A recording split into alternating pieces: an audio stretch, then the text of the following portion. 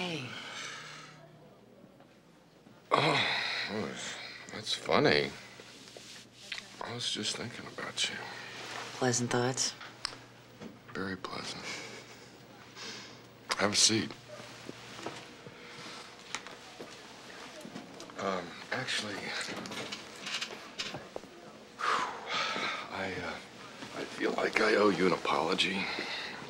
Um, I know that lately I've been uh, difficult, to put it mildly.